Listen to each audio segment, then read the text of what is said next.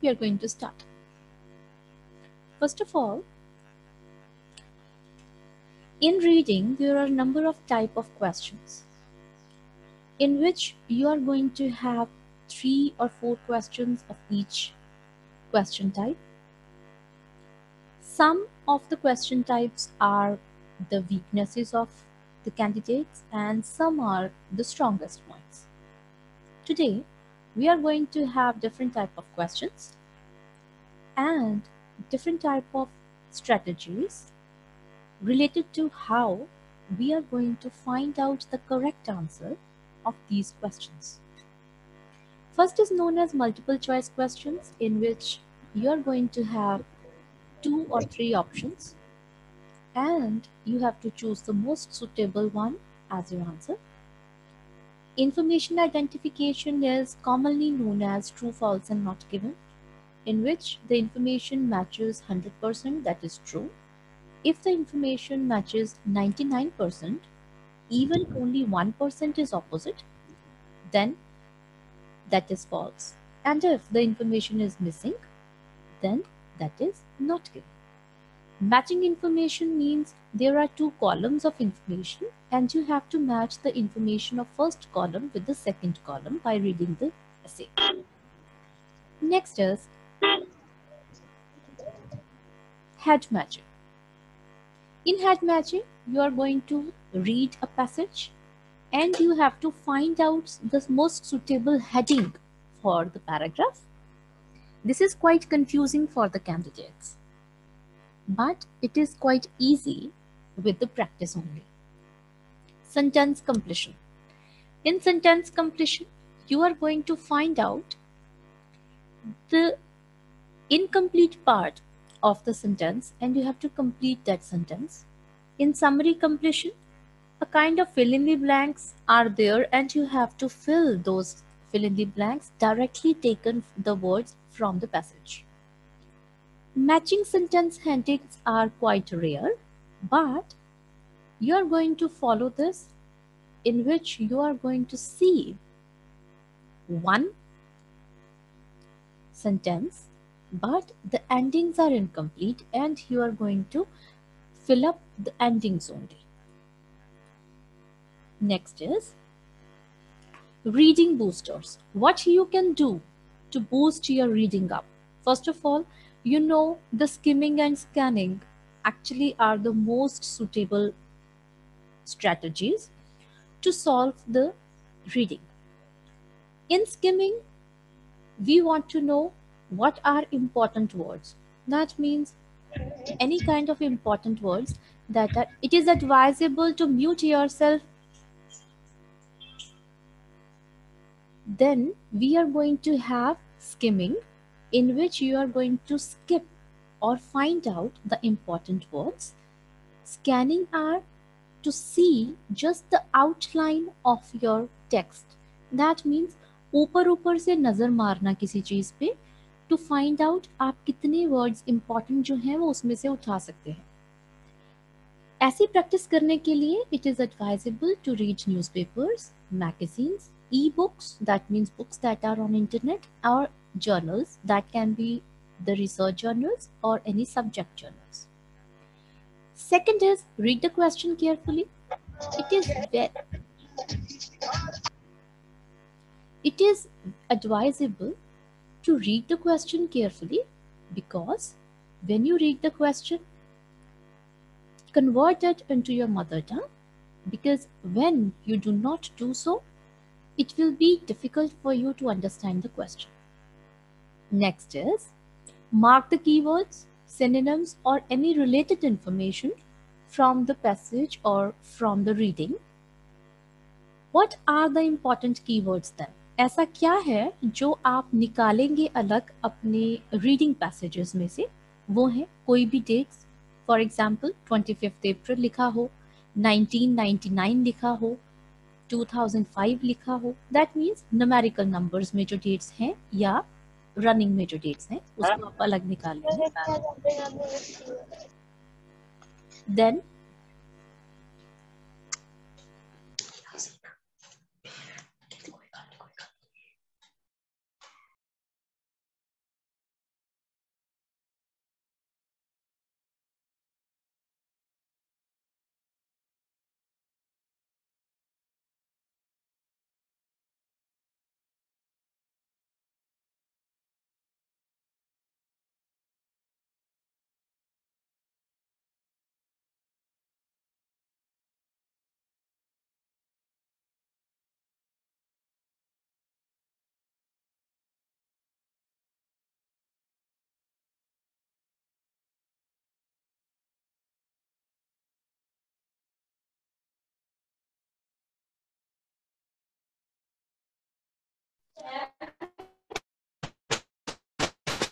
वैसे नहीं आ रही पढ़ी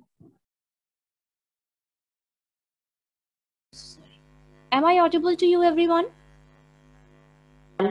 Yes, ma'am. yes ma'am Okay. Yes, ma'am. When you have any locations, कोई डेट दी गई है आपको वो डेट आप अंडरलाइन कीजिए कोई इवेंट्स दिए गए हैं ऐसे रीडिंग में तो उसको आप अंडरलाइन कीजिए कोई खास ओकेजन्स हैं दिवाली है क्रिसमस है, कुछ भी है नंबर्स दिए गए हैं। फॉर एग्ज़ाम्पल कोई भी न्यूमेरिकल नंबर्स उनको आप अंडरलाइन कीजिए। लोकेशंस दी गई हैं। दैट मीन्स कोई भी नाम दिए गए हैं, कोई जगह का नाम है, चंडीगढ़ है न्यूयॉर्क है अमेरिका है देन अंडरलाइन कीजिए उन लोकेशंस को। स्पेशल कैरेक्टर्स हैं। दैट मीन्स कोई सिंबल्स हैं राइट डॉलर साइंस हैं रुपी साइंस हैं। उनको भी आप अंडरलाइन कर सकते हैं। These words are basically known as the keywords जब हम इन लो, इन चीज़ों को अंडरलाइन कर लेते हैं इन अ रीडिंग होता क्या है कि आप एबल हो जाते हैं बहुत सारे क्वेश्चंस के आंसर देने के लिए। क्योंकि आप जब इन चीज़ों को अंडरलाइन करते हैं तो when you go to the questions again you will come to notice कि आपके जो क्वेश्चंस आपके सामने आ रहे हैं, वो क्वेश्चंस के आंसर्स काफ़ी हद तक आप पहले ही ढूंढ चुके हैं। Okay next is never mark answers in hurry कभी भी अपने जो आंसर्स हैं, उनको जल्दी जल्दी में मत लिखिए। हमेशा अपने जो आंसर्स हैं, उनको रिव्यू कीजिए। दोबारा से सोचिए उनके बारे में और उनको रेक्टिफाई कीजिए। दैट मीन्स उनको चेंज कीजिए। नाउ कौन सी चीज़ें हैं that you are going to focus on while reading सबसे पहले हम जो करके हटे हैं अभी स्कैनिंग एंड स्किमिंग स्कैनिंग का मतलब है और ऊपर ऊपर से नज़र मारना कि एक्चुअली क्या क्या चीज़ें हैं जो आप आने वाली रीडिंग में पढ़ने वाले हैं. एक चीज़ बहुत इंपॉर्टेंट होती है that is the title of the reading जिसको 70 टू 80 परसेंट स्टूडेंट्स छोड़ देते हैं. उनको लगता है कि इसका क्वेश्चंस में कोई रोल नहीं है. क्वेश्चंस हेडिंग के बारे में होगा नहीं तो इसको छोड़ दीजिए. लेकिन this is the very first thing that you should consider important while doing any part of your reading because जब आप टाइटल पढ़ते हैं तो कहीं ना कहीं आपको ये हिंट मिल जाता है, आपको ये अंदाज़ा हो जाता है कि आपका जो पैसेज है, वो किस चीज़ के साथ रिलेटेड है। स्किमिंग दैट मीन्स हम कीवर्ड्स निकालेंगे। नेक्स्ट इज़ टाइम मैनेजमेंट देखिए you are going to follow 40 questions and you are going to do that 40 questions in 60 minutes only आपको ना ही एक मिनट कम मिलेगा, ना ही एक मिनट ज़्यादा मिलेगा। So it is for both academic as well as GT students to divide your passages according to the time. जैसे academic में हमारे पास तीन सेक्शंस हैं।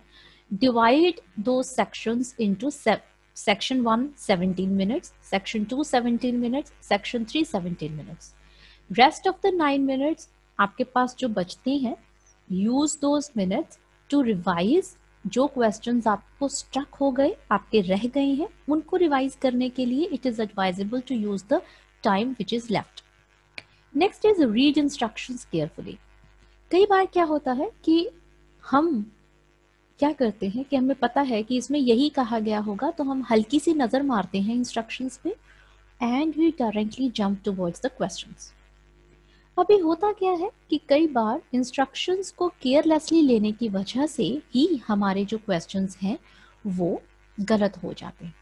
देखिए I want to give you an example for that अभी क्या है कि हमारे पास जो क्वेश्चन है उसमें लिखा है राइट डाउन यस नो और not given as your answer आपने ये यस yes, नो no तो पढ़ लिया लेकिन आपके दिमाग में क्या हुआ? कि ये तो ट्रू फॉल्स है। आपके दिमाग में यस नो की जगह क्या है? ट्रू फॉल्स और नॉट गिवन होगा क्या?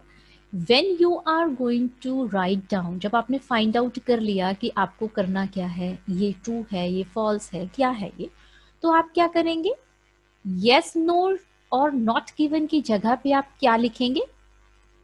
क्या लिखेंगे आप? True false and not given तो होगा क्या? ऐसा करने से आपके आंसर्स रॉन्ग हो जाएँगे। Because you are not answering according to their instruction so it is advisable to read the instruction very carefully next is grammar and spelling accuracy grammar is very important sometimes क्या होता है कि intentionally वो लोग form change कर देते हैं। जहाँ पर आई एन जी की ज़रूरत है वहाँ पर सिंपल लिख देते हैं। जहाँ पर ई uh, डी की ज़रूरत होती है according to the tense simple word जो है वो आपकी रीडिंग में पड़ा होता है but answer should be within E D form तो ऐसी चीज़ों का हम ध्यान रखेंगे एक चीज़ और important that in listening and reading, it is advisable to write down your answers only in capital letters. देखिए फॉर एग्ज़ाम्पल हमारा जो आंसर है हमारा जो कोई भी आंसर है वो है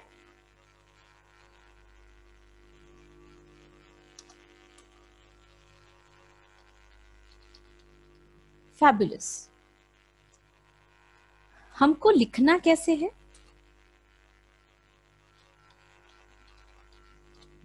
हम हर एक जो आंसर करने वाले हैं, उस आंसर को हम कैपिटल लेटर्स में ही लिखेंगे। इसके दो कारण हैं। पहला ये कि जब आप इसको रनिंग में लिखते हैं, ऐसे लिखते हैं रनिंग में, कई बार क्या होता है कि जो फ़र्स्ट इनिशियल वर्ड है दैट मीन्स ये है जो ये एडवाइजेबल होता है कि आप बड़ा लिखें कैपिटल लिखें, लेकिन आप भूल जाते हैं। आप इसको सीधा लिख देते हैं, छोटा F A B U L O U S by doing so क्या होगा? आपके मार्क्स कट जाएँगे। They will consider it as a mistake लेकिन जब आप सारे ही जो वर्ड्स हैं, उनको कैपिटल में लिखते हैं दैट मीन्स आप इन चीज़ों से, इन गलतियों से ऊपर उठ गए हैं। कोई भी वर्ड लिखें आप अगर उसका इनिशियल जो कॉन्सोनेंट है या वाउल है, वो बड़ा होना चाहिए तो भी आप गलत नहीं है। This is known as the safe game हमेशा ही ऐसा कीजिए कि आप कैपिटल्स में आंसर लिखिए। बाय डूइंग सो आप ऐसी गलतियों के नंबर जो है वो कटवाने से बच जाएँगे। नेक्स्ट इज़ रीडिंग टिप्स ज़्यादा तौर पे आपके जो आंसर्स हैं, वो एक ऑर्डर में होते हैं। दैट मीन्स फ़र्स्ट पहले, उसके बाद सेकेंड उसके बाद थर्ड ऐसे। लेकिन एक्सेप्शन आर ऑलवेज देयर कई बार ऐसा नहीं भी होता है, लेकिन ज़्यादा तौर पे होता है। तो जब भी आप आंसर्स ढूंढें तो ऐसे ही ढूंढें। नेक्स्ट इज़ हमेशा कोई भी नेम आ जाए प्लेस आ जाए नंबर्स आ जाए, ठीक है? ऐसी चीज़ों को हम अंडरलाइन करेंगे। अगर आप कंफर्टेबल नहीं है अंडरलाइन करने के लिए तो आप सर्कल कर सकते हैं स्टार बना सकते हैं। इट्स अप टू यू कि आप क्या करना चाहते हैं?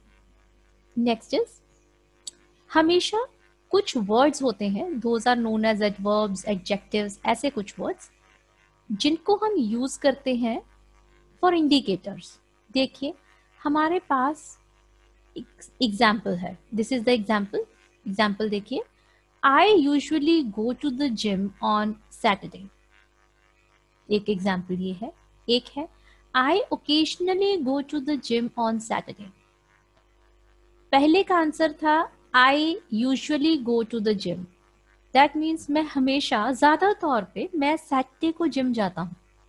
दूसरा सेंटेंस है I occasionally go to the gym on Saturday बहुत रेयर होता है कि मैं सैटरडे को जिम जाऊँ।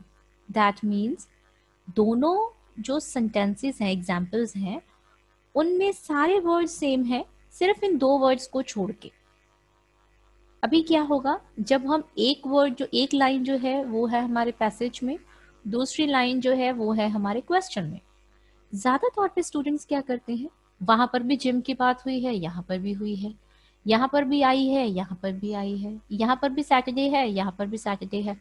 चलो मैचिंग हो गई दैट इज़ ट्रू लेकिन We are not working on actually the words that are very important. Which words are important? Usually and occasionally. That means दोनों चीजें जो हैं वो एक दूसरे के ऑपोजिट है so we will try to analyze each and every word of reading while matching the information of the questions with the information that is given in front of you in the passage. अगली चीज़, कुछ ऐसे verbs होते हैं जो बहुत importance रखते हैं, ठीक है? जैसे नो सजेस्ट बिलीव क्लेम इनको हमेशा देखना चाहिए। ऐसे वर्ड्स जो है, वो गेम चेंजर्स का नाम रखते हैं, उनको गेम चेंजर्स बोलते हैं। For example the passage suggest there are four endangered species on the island जो पैसेज है, उसमें ये कहा गया है कि इस किसी खास आइलैंड की बात हो रही है, वहाँ पर ऐसी कुछ प्रजातियाँ हैं जो कि खत्म होने वाली हैं।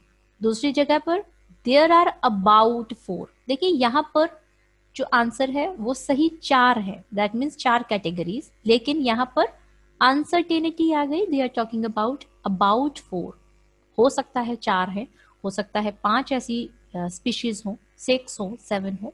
So by doing so always choose the words और compare the words very very accurately next is theme जो है आपके पैसेज का दैट इज़ वेरी इंपॉर्टेंट हम पहले कर चुके हैं टाइटल पढ़ लेना चाहिए this is one and the same things theme को आपको पता होना चाहिए कि हम कैसी चीज़ के बारे में बात कर रहे हैं।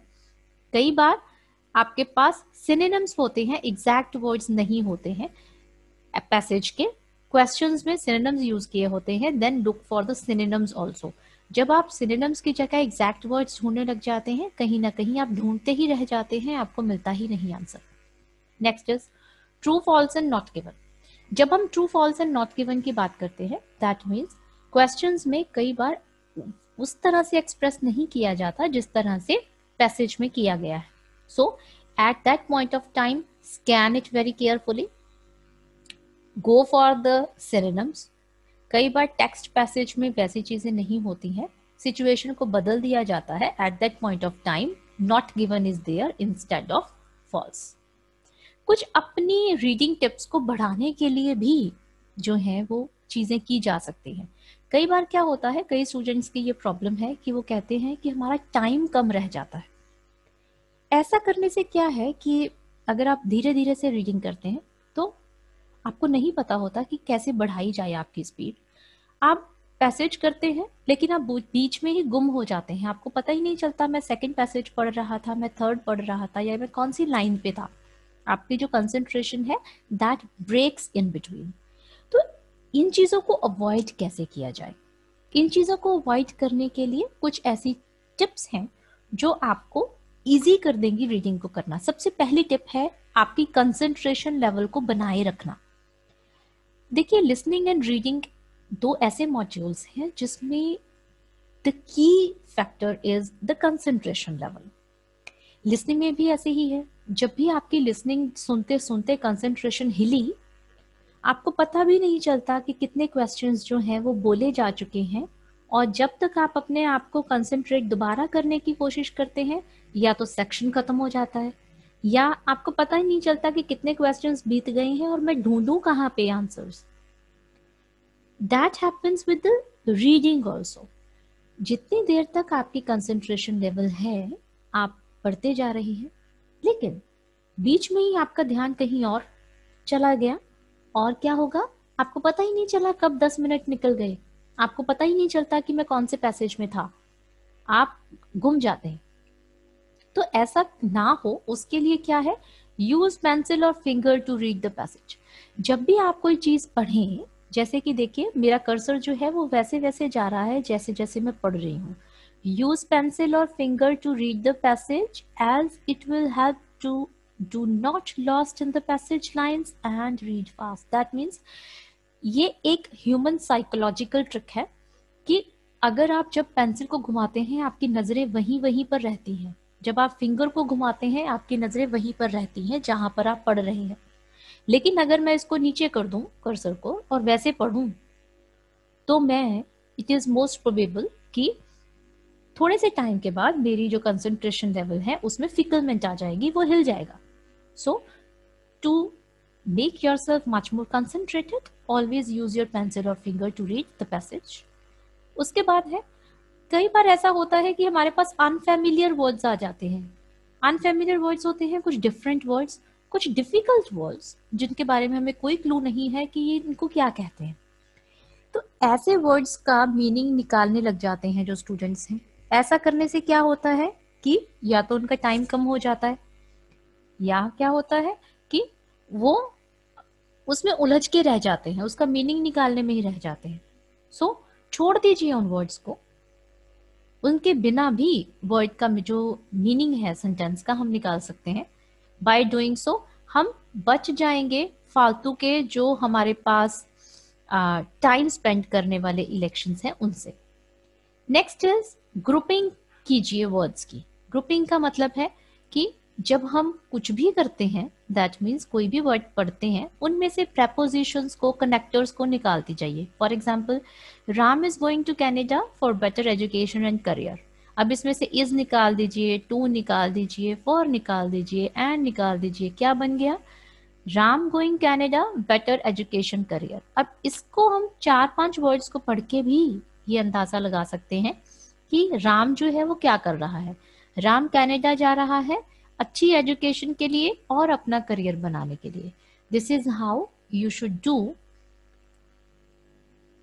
the reading part next true false में क्या होता है? If the information is there yes if the information information is not present then that is not given अगर प्रेजेंट है और पूरे तरीके से मैच करती है दैन इट इज़ ट्रू अगर 99 परसेंट भी मैच करती है और सिर्फ़ एक परसेंट भी ऐसा है, जिसमें इंफॉर्मेशन पूरे तरीके से मैच नहीं कर रही है दैन इट इज़ फॉल्स देखिए हम आ गए हैं हम लोग असली काम पे। असली काम क्या है हमारा? Reading this is the reading of today first passage है आपका रीडिंग का आपके सामने ऑन योर स्क्रीन अभी हम करने वाले हैं इसका एनालिसिस देखिए, क्या एनालिसिस है इसका?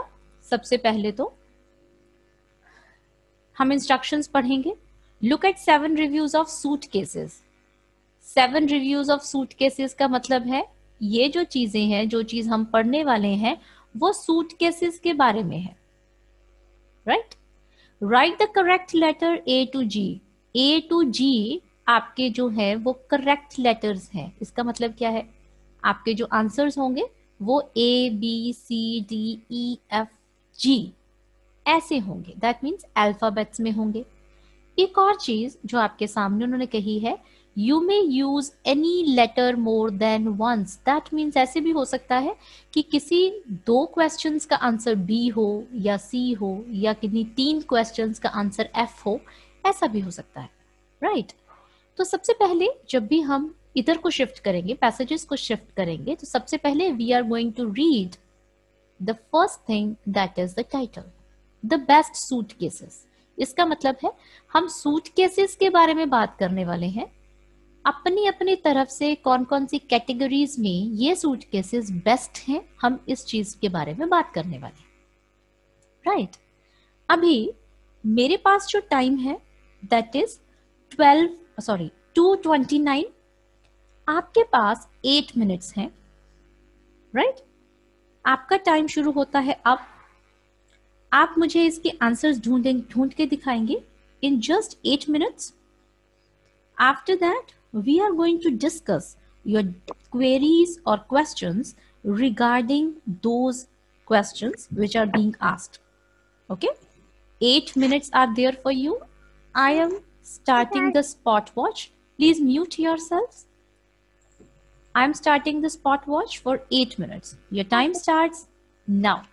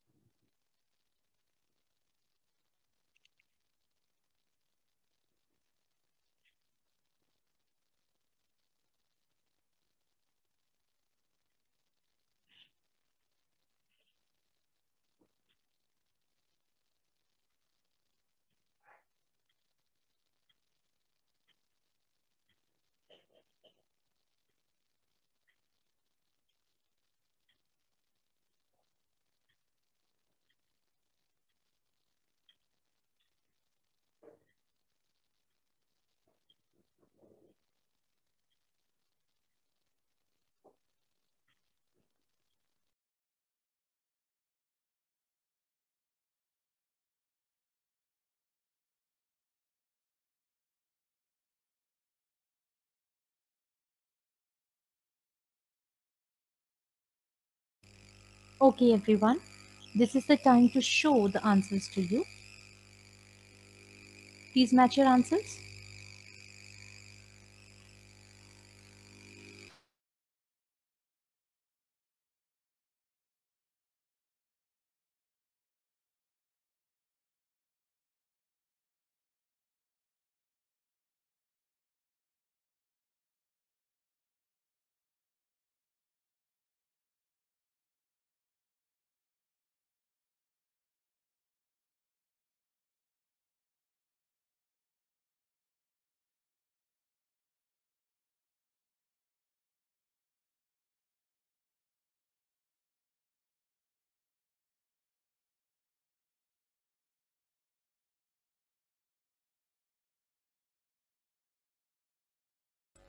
Okay.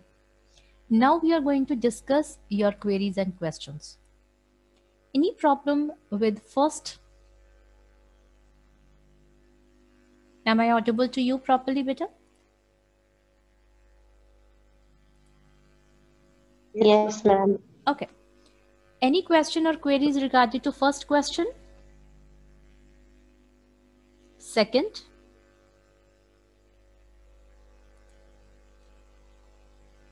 Please speak up. It is really hard for me to check the messages. Yes, ma'am. Uh, First or second question एक बार बता दो. Okay. The first one is this suitcase is for those who wish to purchase expensive luggage. ये जो suitcase के बारे में हम बात कर रहे हैं वो उन लोगों के लिए है जो कि एक्सपेंसिव लगेज जो है वो खरीदना चाहते हैं। द आंसर इज़ बी देखिए the answer is truly indulgent buy indulgent होता है luxury luxury buy that means महँगा। शौक रखते हैं जो लोग ऐसी चीज़ें खरीदने का, महँगी चीज़ें खरीदने का। ये जो, इस टाइप का जो बैग है that is for those people so the answer is B clear now Second is, this suitcase is right one for the people who like to follow the latest fashion. ये जो suitcase है, ये उन लोगों के लिए है जो लेटेस्ट फ़ैशन को फॉलो करते हैं।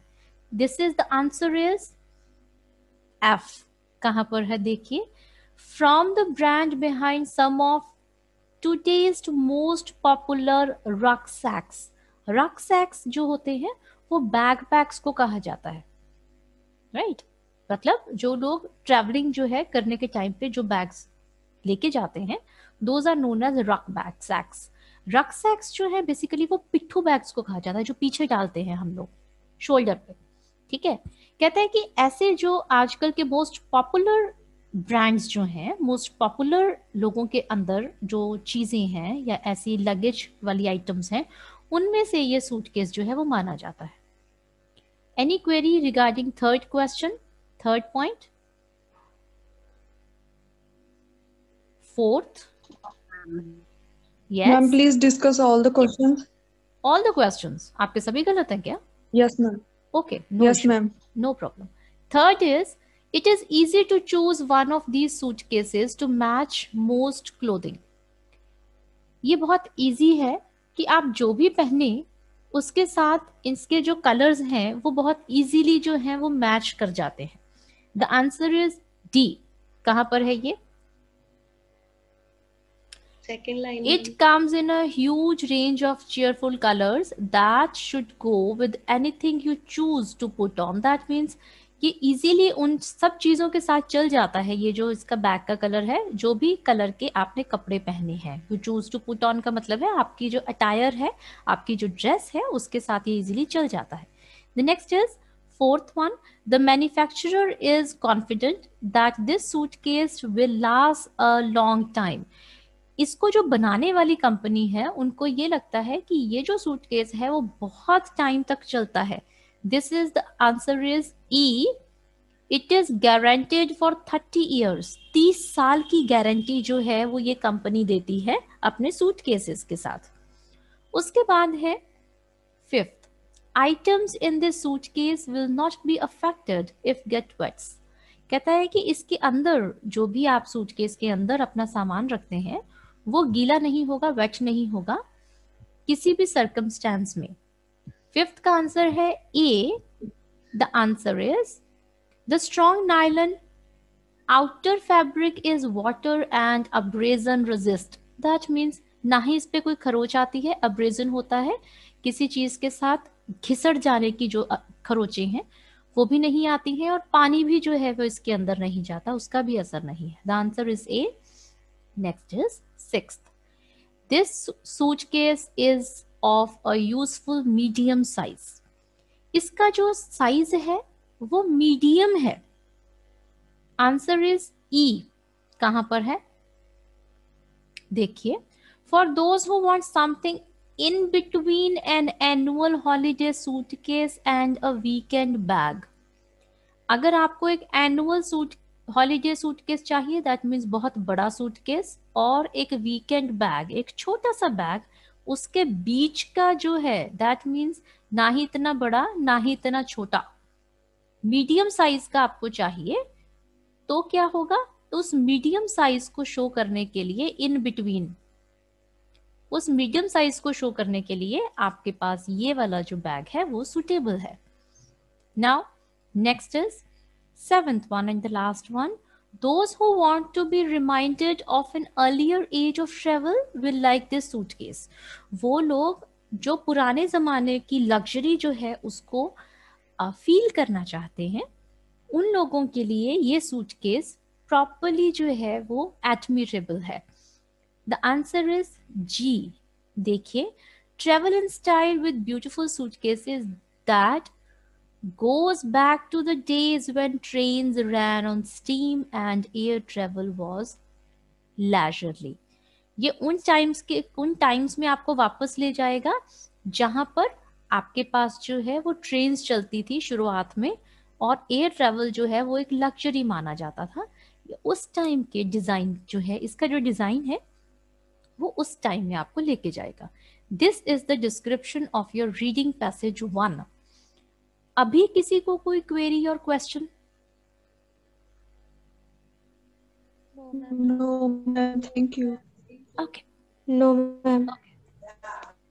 most welcome now we are please mute sells now we are moving towards the second reading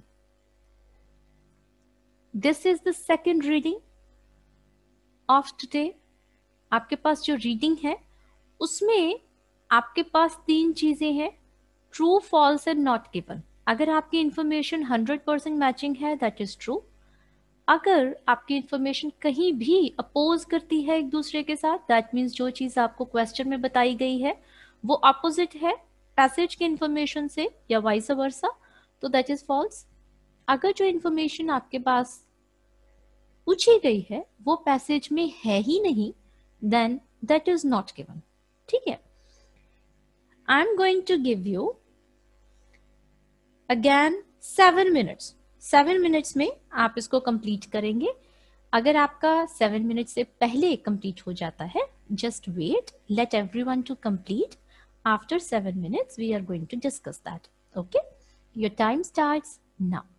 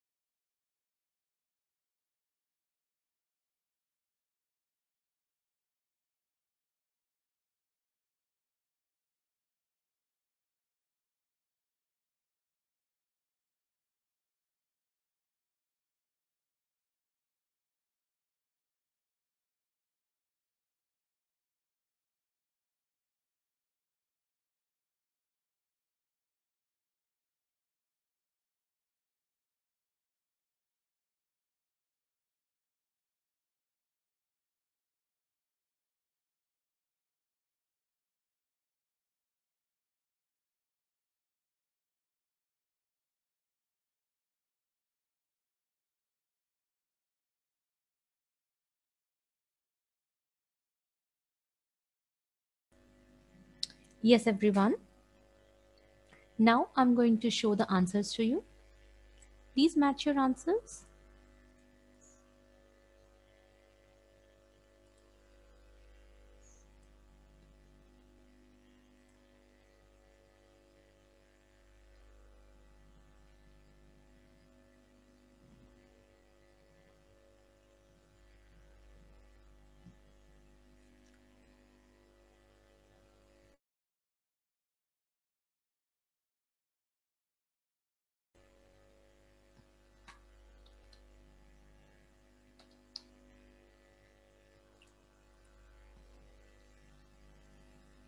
Now we are going to discuss. Any problems in 8th? No, ma'am. Okay. 9th? Yes, ma'am. Yes, ma'am. No problem देखिए ninth में उसने कहा है students will act in a performance in front of their classmates जो students हैं वो एक performance में काम करेंगे परफॉर्मेंस देंगे अपने क्लासमेट्स के सामने at the end of the first term अपनी फ़र्स्ट टर्म की एंड में। दैट मीन्स जब उनका फ़र्स्ट टर्म जो है, वो कंप्लीट हो जाएगा तो उनको एक ऐसी परफॉर्मेंस देनी होगी जिसमें उनके क्लासमेट्स भी जो है, वो इन्वॉल्व होंगे। Right right? अभी देखिए फ़र्स्ट टर्म कहाँ पर बताया गया है उन्होंने? That is true answer is true देखिए फ़र्स्ट टर्म यहाँ पर है। ठीक है? The term finishes with an internal production. That means उनको परफॉर्मेंस देनी होगी। किसको देनी है? Given for tutors and students students कौन है? जो उनके साथ पढ़ रहे हैं। उनके classmates this is one and the same thing right तो Yes, जब हम लोग जो है उस चीज़ को बार बार जो है वो अ, पढ़ते हैं उसके सिनोनिम्स देखने हैं हमें। ठीक है? जब हम इनके सिनेम्स जो हैं वो देखते हैं उनके सिनेम्स को ढूंढते हैं ठीक है? तो वो क्या होता है? अ, हम लोग चूज़ करते हैं कुछ ऐसी चीज़ें जो कि मैच कर जाती हैं। अभी देखिए हम लोग सिनेम्स ढूंढ रहे थे हम लोग क्लासमेट्स ढूंढ रहे हैं बैचमेट्स ढूंढ रहे हैं लेकिन वो नहीं मिल रहा।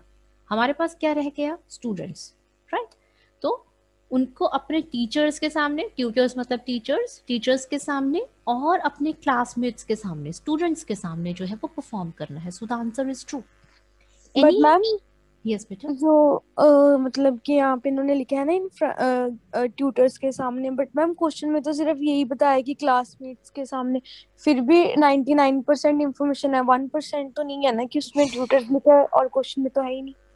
सुखमनी अगर मैं ये कहूँ कि आपने पूछा कि, मैम, आप चंडीगढ़ गए, आपने, आप क्या लेके आए? मैंने कहा कि, मैंने वहाँ पर एक फ़ोन खरीदा, एक लैपटॉप खरीदा। ठीक है? आपने अगला अगला क्वेश्चन मुझसे पूछा कि, आपने फ़ोन खरीदा? कौन सा खरीदा? तो आपने लैपटॉप के बारे में तो पूछा नहीं, लेकिन इंफॉर्मेशन वहीं पर थी। दैट मीन्स आपने जितनी इंफॉर्मेशन रिक्वायर्ड थी, वो मैच की है, वो मैच हो रही है। That means the question answer is true आपसे जो चीज़ पूछी गई है क्या वो पैसेज में है? दैट मीन्स हम सिर्फ़ उन दो चीज़ों को कंपेयर करेंगे। रेस्ट जो है वो हम कंपेयर करेंगे ही नहीं। Are you getting my point okay ji. Any other thing okay any query regarding tenth No, ma'am. Eleventh Yes, ma'am. Please explain. one. Problem eleventh करने वाले हैं हम.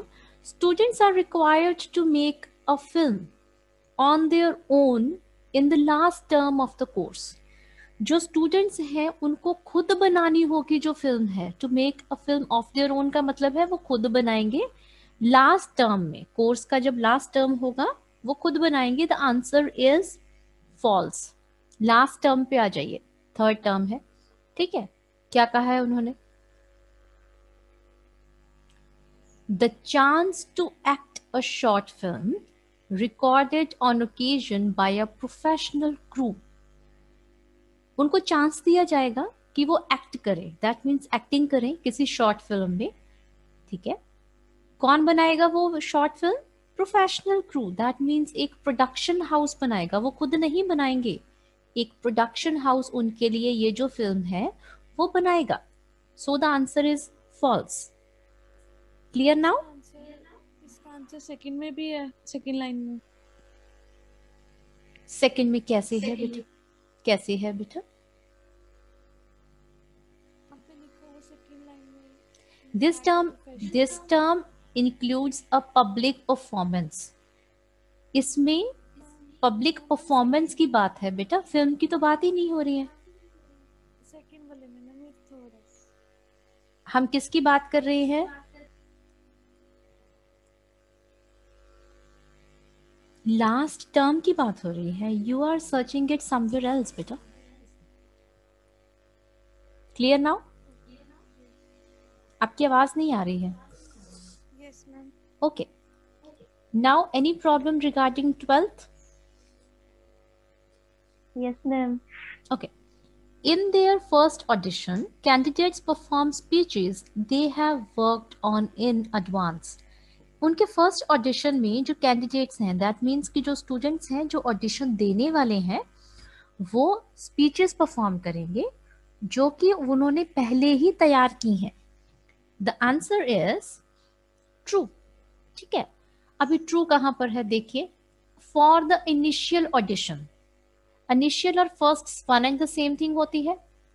दैट मीन्स फ़र्स्ट ऑडिशन में बात कर रहे हैं हम। यहाँ पर हम बात कर रहे हैं इनिशियल ऑडिशन की। देखिए, जब भी हम specially in true false and not given, when you are going to follow the questions, then it is required to follow the keywords देखिए, keywords क्या है? यहाँ पर फ़र्स्ट ऑडिशन की बात है, यहाँ पर इनिशियल ऑडिशन की बात है। दैट मीन्स हमारा जो आंसर है, उसके नज़दीक होगा। ठीक है? Candidates perform speeches that they have worked on in advance जिस पर वो पहले ही काम कर चुके हैं प्रिपेयर कर चुके हैं। देखिए, उन्होंने क्या कहा है? You will need to prepare two contrasting speeches from plays lasting no longer than two minutes अभी इसमें उन्होंने घुमा के आंसर किया है। क्या कहा है? You will need to prepare आपको एक प्रिपेयर करनी पड़ेगी. दैट मीन्स आप पहले ही प्रिपेयर करेंगे. ऑन द स्पॉट नहीं लिखा है. Are you getting my point on the spot लिखा होता तो दैट मीन्स कि उसी जगह पे आपको जो है, ये परफॉर्म करना होगा. लेकिन, उन्होंने कुछ नहीं लिखा, उन्होंने सिर्फ़ परफॉर्मेंस की बात की है. दैट मीन्स परफॉर्म पहले ही उन्होंने तैयारी की है, उसके बाद जो है वो परफॉर्म करने की बात कर रहे हैं. दिस इज़ द रीजन ये जो आंसर है, वो just second this is the reason ये जो आंसर है दैट इज़ ट्रू थर्टींथ में देखिए बेटा थर्टींथ में जी कोई problem yes ma'am two contrasting means कि पहले परफॉर्म करनी पहले प्रिपेयर की हुई? नहीं टू कंट्रास्टिंग का मतलब है एक दूसरे से अलग एक जैसी अलग। नहीं। कंट्रास्टिंग हम्म। क्या होता है? कंट्रास्टिंग होता है हाँ एक दूसरे से अलग हो जाना। अलग। है ना? ठीक है मैम तो फिर यहाँ पे तो कंट्रास्टिंग लिखा नहीं था यहाँ पे परफॉर्म स्पीचेस लिखा था तो मैंने इसलिए फॉल्स लिख दिया कि आप तो- कंट्रास्टिंग आप ढूंढी कहीं और रहे हैं देखिए कंट्रास्टिंग तो सोचिए कि है ही नहीं। टू स्पीचेस ही है। हम्म। ठीक है? हमारा जो चीज़ था ढूँढने वाली चीज़ थी वो ये थी कि वर्कड ऑन इन एडवांस क्या वो पहले से प्रिपेयर कर सकते हैं? तो yes need to prepare that means पहले से की होनी चाहिए। इनडायरेक्टली वो वहीं पर पड़ा है आंसर लेकिन उन्होंने घुमा कर दिया हुआ है। This is what I want to tell you ठीक है? जी थर्टींथ देखिए। The Oxford school of drama will send candidate details of local accommodation ये जो स्कूल का नाम है ऑक्सफोर्ड स्कूल ऑफ़ ड्रामा देखिए यहाँ पर भी यही नाम है विल सेंड कैंडिडेट्स डिटेल्स वो कैंडिडेट की डिटेल्स भेजेंगे ऑफ़ लोकल अकोमोडेशन जहाँ पर वो लोकली रह रहे हैं। इसका कहीं भी कोई भी मेंशन नहीं है। So the answer is not given fourteenth में किसी को कोई प्रॉब्लम ओके कोई प्रॉब्लम हम लोग सॉल्व करते हैं। Overseas candidates can do all their auditions via a digital link जो ओवरसीज कैंडिडेट्स हैं दैट मीन्स जो अब्रॉड के या फॉरेन लैंड से रिलेटेड जो कैंडिडेट्स हैं जो इस कंट्री में नहीं रहते हैं ऐसे जो कैंडिडेट्स हैं, वो इंटरनेट के लिंक्स के थ्रू ही अपने ऑडिशंस दे सकते हैं सारे ऑल ठीक है? अभी हम क्या करने वाले हैं? इसका आंसर जो है दैट इज़ फॉल्स क्यों है इसका आंसर फॉल्स देखिए, क्या लिखा है उन्होंने?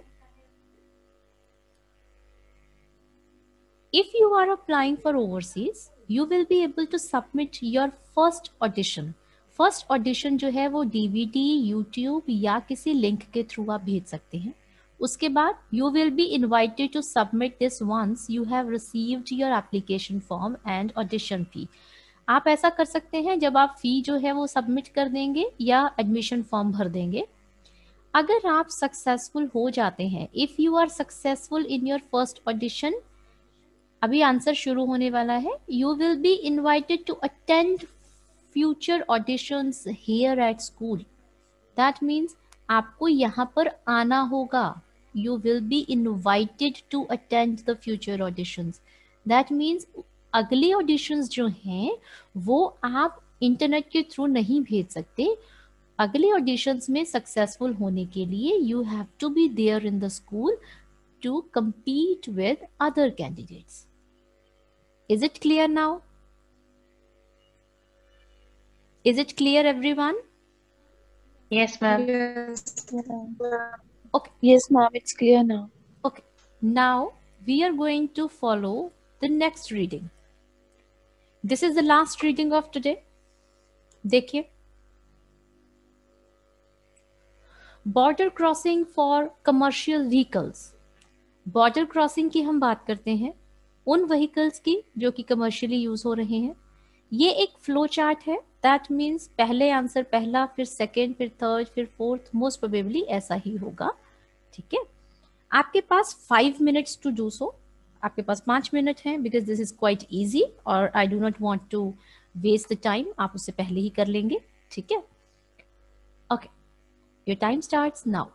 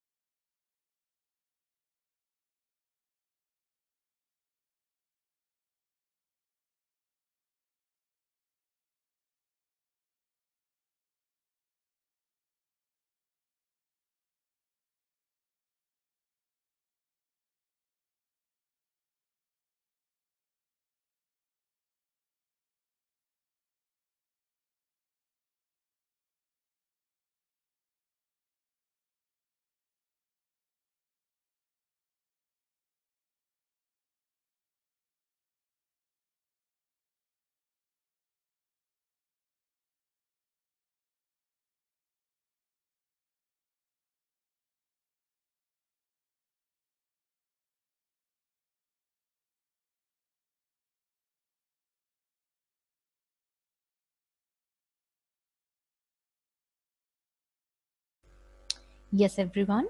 I'm going sh- to show you the answers. This is the answers. Please match your answers.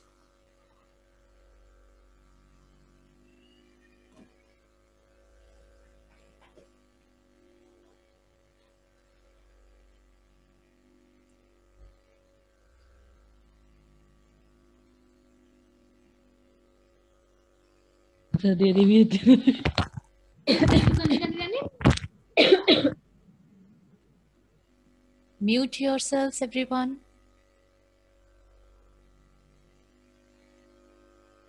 Okay.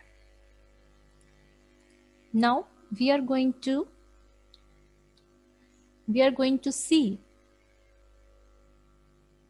the discussions. Any problems in the first question that is 15th?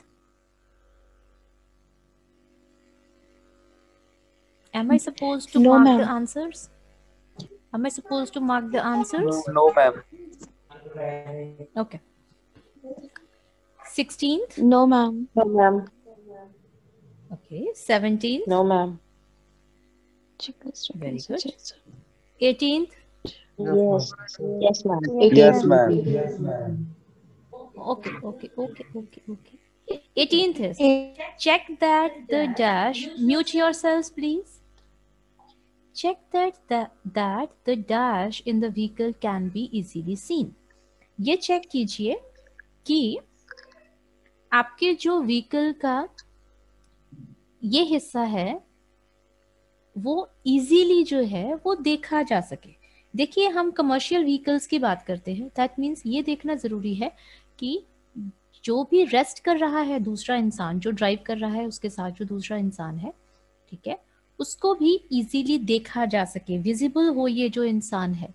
So the answer is sleeping area sleeper area here it is. Clear now?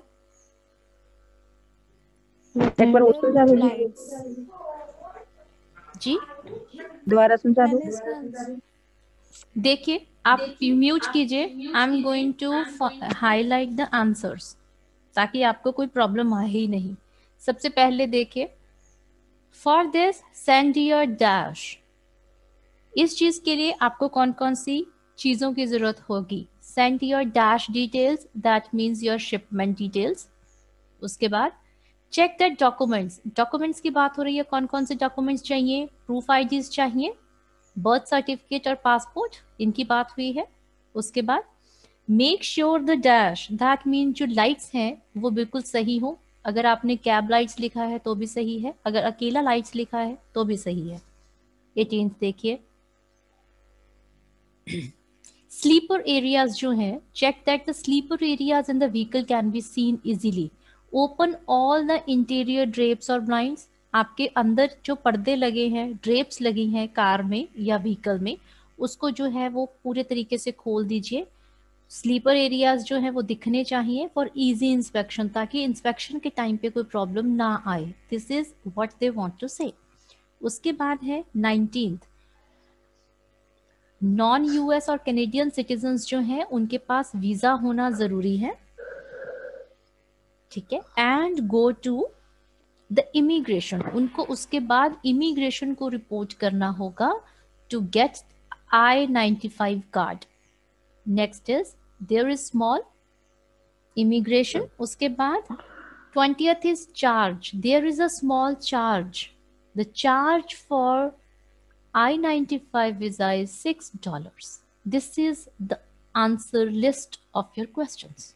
I hope this will be helpful for you. Any questions from your sides? No, ma'am. No, ma'am. No, ma'am. Okay. Thank you. Now mute yourself. We are moving towards the writings. Now we are going to see the writings. Writing task one, we are going to discuss first for GT students. Even if you are an academic student, it will take some minutes. So please stay connected. If you are a GT student, make sure you know each and every aspect of this task because this task is really important in your writing. First of all, if we talk about the types of letters, there are three types of letters formal letters that we are going to write down to the people who are having more authority than us जो हमसे ऊँचे हैं for example हमसे बड़े हैं हमसे ऊँची position रखते हैं bosses I S officers I P S officers municipal corporation heads newspaper के एडिटर्स जब हम उनको लिखते हैं तो हम लोग लिखते हैं फॉर्मल काइंड ऑफ़ लेटर्स उसके बाद semi formal letters semi formal letters are those letters to whom we are addressing the people who are equal to us, but we are not very familiar with those people. For example, हमारे colleagues, हमारे tenants that means हमारे किराएदार landlords मकान मालिक, कुछ ऐसे लोग neighbours जिनसे हम बहुत ज़्यादा फैमिलियर नहीं है वैसे जानते हैं, सोशली जानते हैं तो ऐसे लोग जो हैं, वो भी सेमी फॉर्मल लेटर्स में आते हैं।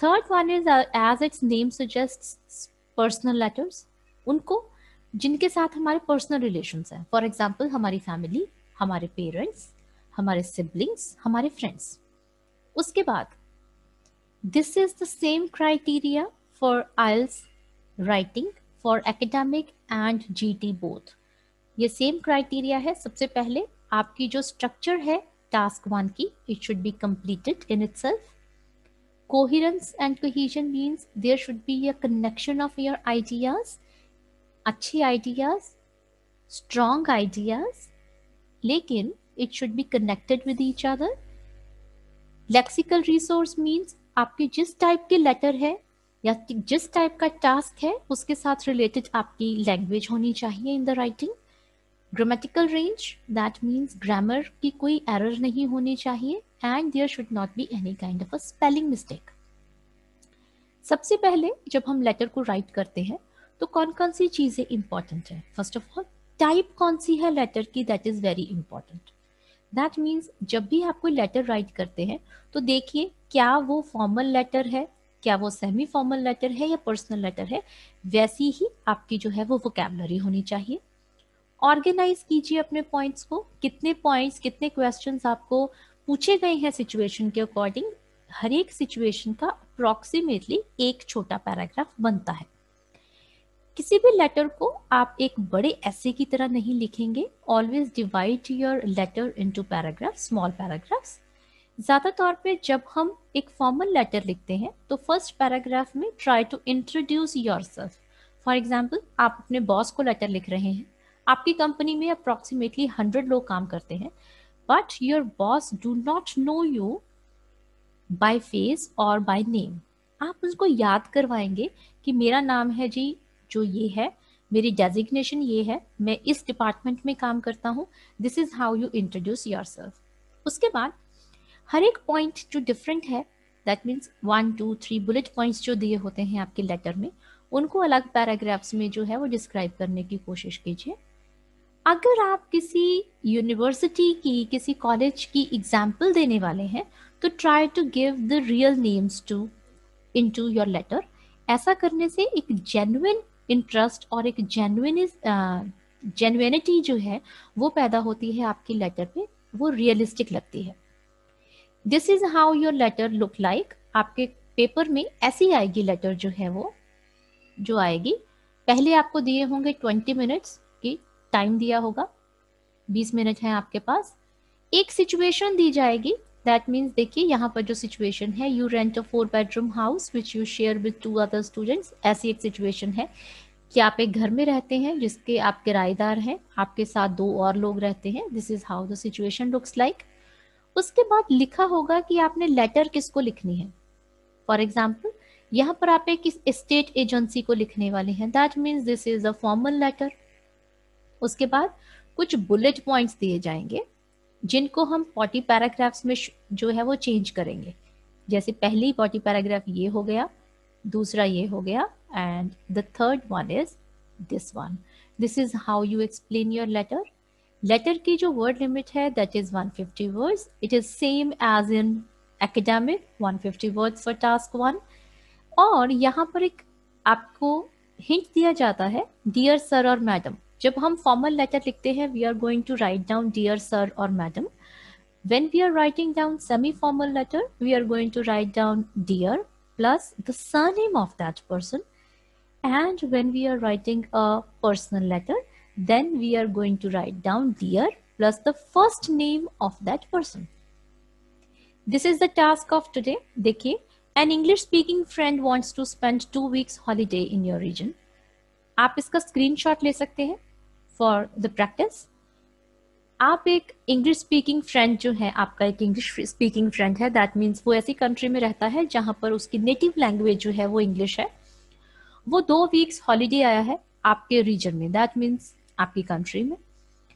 आपको इंफॉर्मेशन देनी है उसको और एडवाइस करना है। अभी क्या क्या एक्सप्लेन करना है आपको, देखिए। Offer to find somewhere to stay आप अपने घर पे भी उसको ऑफ़र कर सकते हैं, या आप कह सकते हैं कि वो आपको बताए और आप जो है वो लोकली इंफॉर्मेशन जो है वो कलेक्ट करके उसको एक अच्छी जगह रहने के लिए वो देंगे। Give advice about what to do आप उसको ये नसीहत देंगे एडवाइस देंगे कि उसको क्या करना चाहिए इन दो हफ्तों में। Give information about what clothes to break उसको मौसम के अकॉर्डिंग वेदर के अकॉर्डिंग कौन कौन सी चीज़ों की ज़रूरत पड़ेगी आपको वो बताना है। Next thing that is important is word limit that is 150 words अभी हम देखिए इसका सोल्यूशन देखने वाले हैं। सारी चीज़ें इसमें एक्सप्लेन होंगी। ये जो आप रेड कलर देख रहे हैं वर्ड्स का दैट मीन्स मैंने आपको ऑप्शंस दी हैं कि आप इसकी जगह पे ये भी लगा सकते हैं, ये भी लगा सकते हैं। ये वर्ड भी लग सकता है, ये भी लग सकता है। So it is for your convenience dear Albert dear plus the first name of that person because आप अपने फ्रेंड को लिखने वाले हैं। So this will be the personal letter I am delighted that you are coming to Singapore that means you are living right now in Singapore next month आप next month मेरी country में आ रही हैं, जिसका नाम है Singapore I think it would be great if you could stay with me and my family मेरे लिए, मुझे सोचकर भी अच्छा लगता है कि आप मेरे साथ, मेरी फैमिली के साथ रहेंगे। Who send you their best wishes उन्होंने आपको बेस्ट विशेष भेजी हैं। अदरवाइज़ इफ़ यू प्रिफर लेकिन अगर आप प्रेफर करते हैं कि आप कहीं और रहें तो I can easily book you a cheap but comfortable hotel मैं आपको ज़्यादा महँगा नहीं, लेकिन एक कंफर्टेबल होटल जो है, वो बुक कर सकता हूँ। नियर द बीच बीच के पास। So that you you can be more independent ताकि आपको एक हसल बसल ना रहे फैमिली की, आप इंडिपेंडेंटली अपनी जो छुट्टियाँ हैं, उनको एंजॉय कर पाए। There are lots of things to do in my city मेरी सिटी में बहुत सारी चीज़ें हैं करने के लिए। इफ़ आई वर यू अगर मैं आपकी जगह होता I would spend some days on the beach relaxing before one or two days sightseeing in the city मैं एक दो दिन जो है वो बीच पर रिलैक्स करता कहीं और घूमने से पहले। There are several interesting museums and temples हमारे यहाँ पे म्यूजियम्स हैं बहुत सारे और टेम्पल्स हैं, ठीक है? मंदिर है which I am sure you will enjoy मुझे श्योरिटी है कि आप यहाँ पर एंजॉय करेंगे। One place you really should visit is an excellent theme park called Sentosa Sentosa नाम का एक थीम पार्क है, जहाँ जो आपको बहुत ज़्यादा पसंद आएगा where you will want to spend the whole day जहाँ पर आप एक पूरा दिन लगाना चाहेंगे।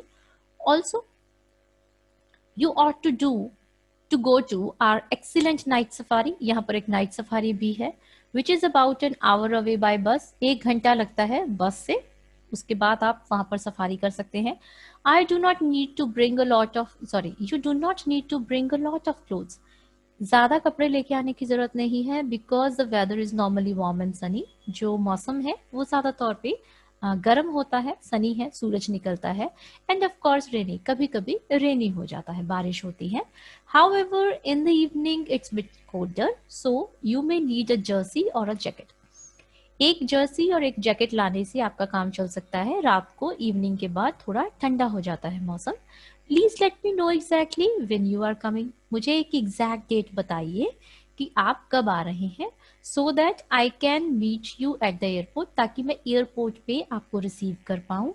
It will be great to see you again so you can get up to date with all our news अच्छा लगेगा मुझे आपको दोबारा मिलके और ताकि हम बात कर पाए उन चीज़ों की जो कि अभी तक हमारी लाइफ में नहीं हुई हैं।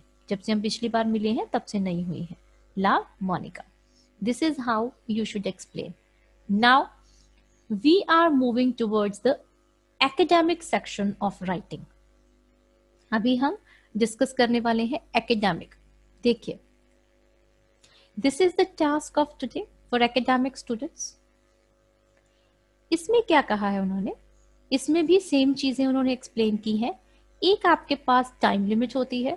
ट्वेंटी मिनट्स एक आपके पास जो है वर्ड लिमिट होती है that is one fifty words जब हम डायग्राम की बात करते हैं diagrams flow sorry diagrams maps bar graphs pie charts, process diagrams, these are some kind of tasks that comes under the academic task one.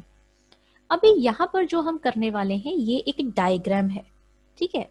अभी इस डायग्राम में बताया क्या गया है? We are going to see that the diagram illustrates how bees produce honey मधुमक्खियाँ जो हैं, वो शहद कैसे बनाती हैं?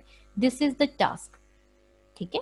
आप मेन फीचर्स बनाएँगे कंपेयर करेंगे। अभी देखिए क्या है।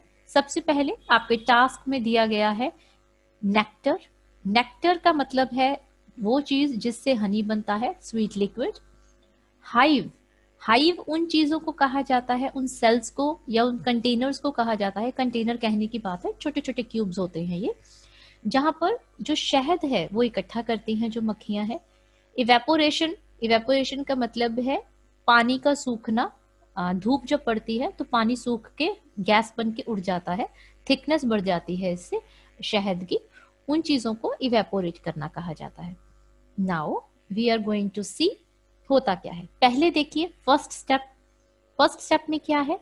बीज जो है, वो हाइव्स बनाती हैं, ऐसी स्क्वेयर्स बनाती हैं, जो आपने छत्ता देखा होगा मधुमक्खी का।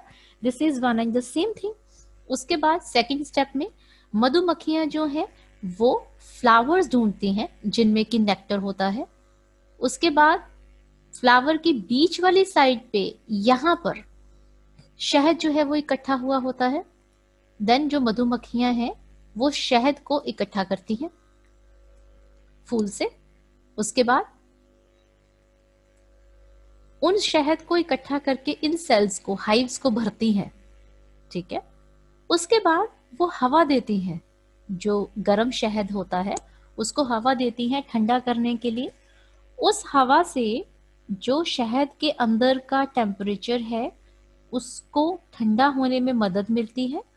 और वो उसमें जो लिक्विड है, पानी का कंटेंट है, जो वो धूप से उड़ जाता है।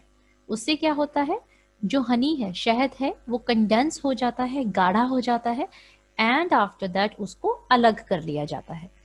This is what the process is all about देखिए now we are going to see the solution the diagram shows the seven important stages in the making of honey by bees ये जो डायग्राम है, वो seven stages को explain करती है। कितनी stages बताई हैं उन्होंने? सेवन स्टेजेस बताई हैं।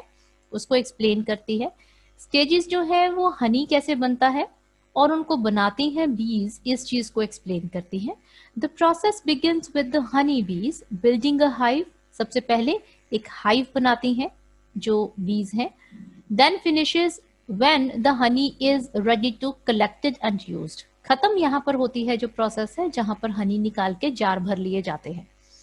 Next firstly the bees have to build a container bees जो हैं, उनको एक चीज़ चाहिए जिसमें वो हनी को लाकर रख सके। तो वो क्या करती है, एक छोटे छोटे बिल्कुल कंटेनर बनाती हैं एक एक सेंटीमीटर के, जिनको हाइव्स कहा जाता है। And it consist of many individually build cells उन, वो एक दूसरे के साथ जुड़े होते हैं जैसे कि ह्यूमन बॉडी के सेल्स हों। Next the bees leave the hive in order to search for the flowers उसके बाद बीज जो है, वो ऐसे फ्लावर्स को सर्च करती हैं, जिनमें कि उन्हों, उनको नेक्टर मिल जाए। दैट मीन्स उनको शहद मिल जाए। Next when they find the suitable flower जब उनको एक सुटेबल फ्लावर मिल जाता है then they collect the nectar from it flower के बीच गोल वाले हिस्से में ये जो नेक्टर है वो होता है, वहाँ से वो खींचती हैं जो नेक्टर है उसको एंड उसको हनी में चेंज करने की कोशिश करती हैं। The nectar is then taken back to the hive वापस ले आती हैं नेक्टर जो है। लेके देखिए, ये देखिए हनी जो है वो लेके आई है और ये हनी जो है वो उन्होंने यहाँ पर लाकर सेल्स में डाल दिया है। Next is then following this nectar must be cool down अभी ये जो है वो नेक्टर गर्म है तो इसको कूल डाउन करने के लिए वो अपने पंखों से उसको हवा देती है। जो मक्खी के पंख हैं, उसको हवा देती है। आपने सुना होगा वाली साउंड जो मक्खियाँ करती हैं मधुमक्खियाँ वो क्यों करती हैं? Because they are giving the kind of wind to that nectar ताकि इवेपोरेशन हो जाए। Next is in order to do this ऐसा करने के लिए the bees fan nectar filled cells with their wings उसको हिलाती है। एज अ रिज़ल्ट होता क्या है? The nectar loses its water content nectar जो कि पहले बहुत पतला होता है, उसका वाटर कंटेंट धूप के कांटेक्ट से उड़ जाता है और कुछ जो है वो हवा के कांटेक्ट से उड़ जाता है। Then finally honey is produced जब उस चीज़ को पानी जो है वो उड़ गया तो जो शहद है नेक्टर जो है, वो गाढ़ा हो जाता है एंड वो एक शहद की जो है, वो शेप ले लेता है। नेक्टर हनी बन जाता है and then humans pack those honey into containers और हम लोग उसको खाने के लिए यूज़ करते हैं और हर्ब्स के लिए भी एज अ हर्ब ही जो नेक्टर है, उसको यूज़ किया जाता है। This is the solution of your task one any kind of a questions or queries from your sides? Students? Any kind of a question or queries from your sides no no ma'am ma'am okay अभी एक और चीज़ मैं ज़्यादा time नहीं लूँगी आप लोगों का एक और चीज़ है जो हम लोग डिस्कस करने वाले हैं वो है एक list of vocabulary words. This is the list of vocabulary words that are quite useful in your writing tasks. देखिए सबसे पहला वर्ड है डिराइड डिराइड का अगर हम गूगल करें तो मतलब निकलता है डिसरिस्पेक्ट डिराइड बेसिकली ऐसा वर्ड है जो बोला तो हँसी में जाए, लेकिन उससे आप किसी की रिस्पेक्ट को स्ट्रक करें. दैट मीन्स हंसकर किसी का मज़ाक उड़ाना is a deride next word is despot despot एक ऐसे आदमी के लिए यूज़ होता है, जो कि एक डिक्टेटर है। दैट मीन्स रूलर है, कोई लीडर है, ऐसा, जो कि लोगों की भावनाओं की, लोगों की फीलिंग की कदर नहीं करता। Cruel person who is actually having the supreme authority उसको डी स्पॉट कहा जाता है। नेक्स्ट इज़ डेलीजेंट डेलीजेंट जो है, वो एक ऐसे आदमी को कहा जाता है जो कि बहुत ही ज़्यादा हार्ड वर्कर हो। जिसको पता है कि जो मुझे आप कह सकते हैं एम है, वो बहुत ही मुश्किल है। लेकिन वो स्टेडिली और क्वाइटली चुपचाप अपने काम पर लगा रहता है। उस आदमी को कहा जाता है diligent he is very diligent next word is elated elated होता है बहुत खुश होना। आप कहते हैं, जैसे किसी ने कोई बहुत बड़ी अचीवमेंट जो है वो हासिल की है, बहुत खुश है वो इंसान और जब हम उसको कंग्रेचुलेट करते हैं तो वो क्या बोलता है? I am elated I am thankful I am feeling proud of myself उस चीज़ को कहा जाता है elated next word is eloquent eloquent होता है, उन लोगों के बारे में ये वर्ड यूज़ होता है जो बहुत ही ज़्यादा क्लियर है रेडिली आंसरेबल होते हैं और इफ़ेक्टिव होते हैं अपने स्पीक के लिए। That means you can say a very clear and impressive speaker ऐसे इंसान के लिए या ऐसे स्पीकर के लिए हम यूज़ करते हैं eloquent word second last word जो आपके पास आता है that is embezzle embezzle basically उन लोगों के लिए यूज़ होता है जो लोग किसी के साथ फ्रॉड करते हैं या वो जो चीज़, कोई किसी की चीज़ को चुरा लेते हैं या रॉब करते हैं रॉबरी करते हैं जो लोग, उन लोगों के लिए एम्बेजल यूज़ होता है। The last but not the least the word is empathy empathy एक ऐसा वर्ड है जो बहुत तरह से यूज़ होता है। बेसिकली ये फीलिंग्स के लिए यूज़ होता है।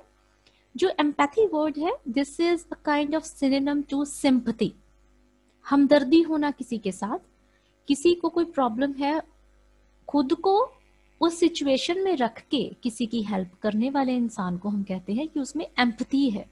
वो किसी और के शूज़ में जाकर go into that person shoes and understand what that person is feeling that point of time तो ऐसे इंसान के लिए हम कहते हैं ही और she is having the quality of empathy this is the list of vocabulary words that can be useful for you any question or queries from your sides anyone you're most welcome to ask No, ma'am. Thank